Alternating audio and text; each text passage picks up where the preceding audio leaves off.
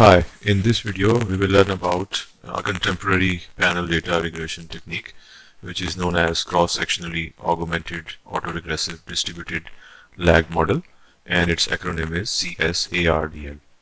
It is a contemporary technique because it was uh, given in 2015 and in this video we will try to learn its basic uh, concept and its applicability and secondly we will learn how we do it in Stata and we will see its uh, economic application as well in the form of existing literature. So before we go ahead, I suggest that you subscribe to this channel and uh, click the bell icon so that you continuously receive the beneficial techniques and tools of quantitative economics. So it is attributed to uh, these two authors. Pesaran is one of the most famous uh, statistical economists and he has already given the model of ARDL and with his work alongside the other author he gave this idea. This is the whole reference of the authors. You can download the article and read it for the uh, understanding. Basically what happens is that in most of the economic models we have heterogeneity in the coefficients that is the slopes are heterogeneous they are not same there are a number of references in a number of uh, studies that can verify this thing. Moreover, in the panel data, what happens is that we find cross-sectional dependence extensively. So in such situations, wherever we have the dynamics, that is, the changes over time, and we have heterogeneity in terms of the slope parameters, and we have cross-sectional dependence, CSARDL is suitable because ARDL is capturing the dynamic side of the things. And wherever we have cross-sectional dependence suitably the cross-sectional augmented ARDL will be suitable. So this is the syntax. We have a certain keyword for the command which is xtdcce where CCE stands for common correlated effects and 2 is for the version of the command. There has been some upgrades in this command. And then is the dependent variable and then we have the long run slope coefficients those variables. That is the lagged version of the dependent variable and the independent variables.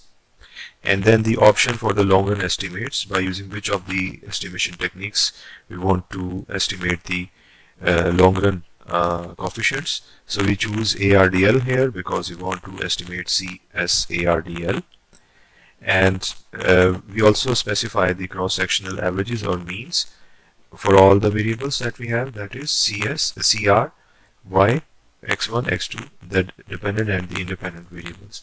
Definitely all of these options have quite a bit of details for which you can refer to the work of the authors. However this is a simplified version of this uh, command. Finally we have the uh, cross-sectional lags. If we want to specify any lags here we choose just to mention zero that is no lag neither a lead and we are going to use this simple option. Uh, with reference to the certain data set that I'm using here, this will be the command. Primarily, I will take you to an empirical example.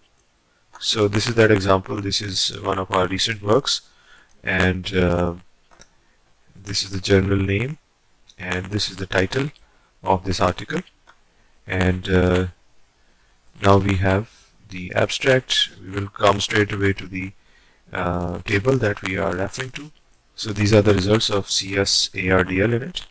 And we can see that we have long run estimates as well as short run estimates. Uh, the variables in the long run and the variables in the short run with their difference term.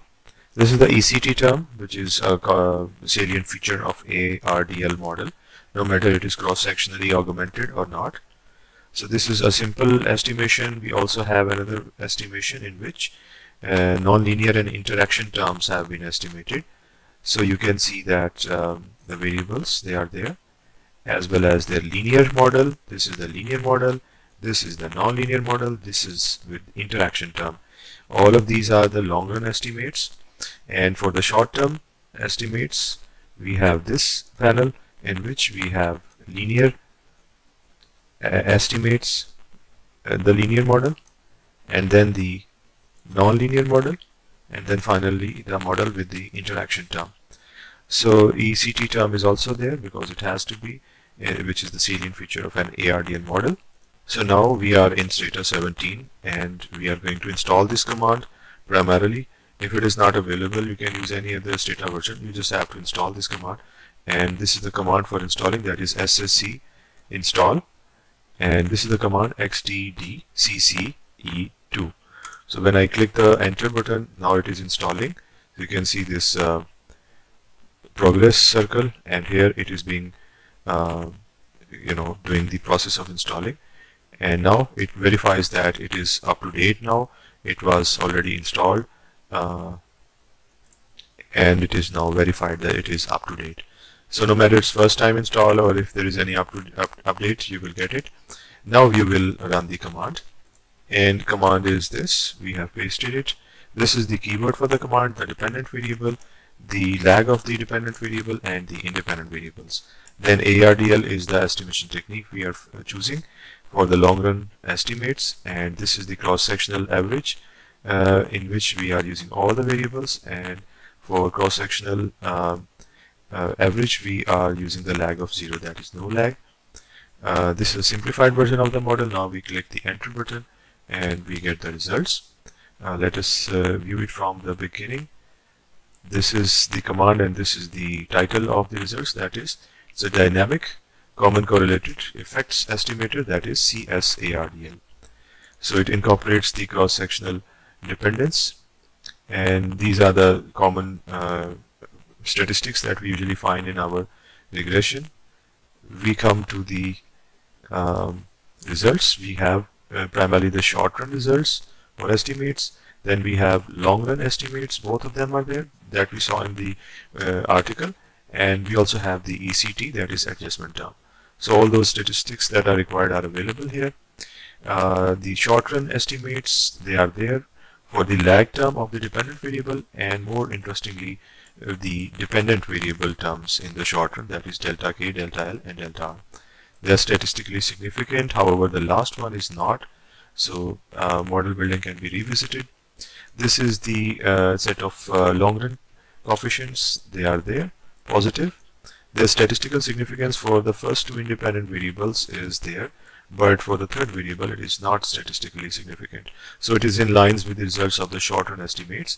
So it means that this variable is not a suitable variable at least in this situation. Now we come to the ECT.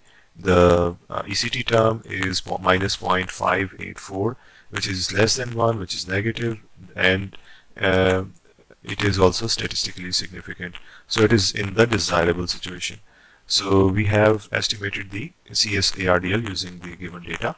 Uh, definitely this uh, variable is not a good variable to include in this so we can do the usual trial and error experimentation that we do in our regression results so this is how we can use the CSARDL uh, in our empirical estimations by using Stata. And uh, stay subscribed for more. Thank you